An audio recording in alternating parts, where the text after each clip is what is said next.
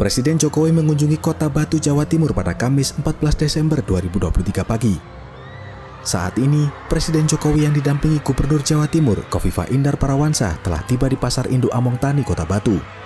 Kedatangan Presiden Jokowi disambut ratusan pelajar yang berdiri di halaman depan pasar. Para siswa dari berbagai sekolah sekota Batu itu bersiap menyambut kedatangan Jokowi untuk meresmikan Pasar Among Tani yang sudah selesai dibangun sejak Mei 2023 lalu. Tampak pula banyak pas pampres dan juga personel keamanan yang mengamankan jalannya kunjungan kerja Jokowi ke kota Batu.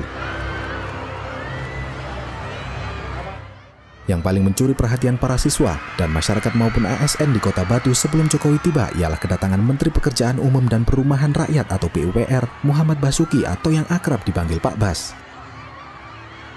2023 Pak baru selesai ini dengan biaya 166,7 miliar dan ini luas eh, termasuk pasar yang besar sekali di Jawa Timur. Luas lahannya ada 34 hektar dan juga luas bangunannya 3 hektar 3, Download Tribun X sekarang, menghadirkan lokal menjadi Indonesia.